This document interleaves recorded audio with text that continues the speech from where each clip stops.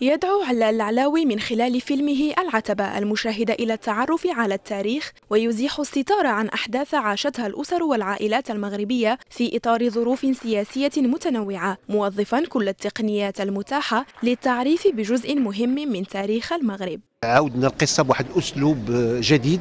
في الحقيقة أنا بالنسبة لي أول خطرة كنخدم بهذا بالإطار الواسع على أساس أنني أحترم تاريخي.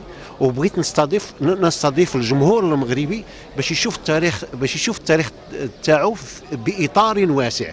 يمثل فيلم العتبة لمخرجه علا العلاوي واحد من الأفلام القصيرة المشاركة في المسابقة الرسمية للمهرجان الوطني للفيلم بطنجة سفرا في ثمانين عاما من تاريخ المغرب. فالسيناريو يحكي قصة عائلة منذ معايشتها لتأسيس أول حزب سياسي في الأربعينيات إلى حين انهيار برجي التجارة العالمية في أحداث الحادية عشر من شتنبر 2001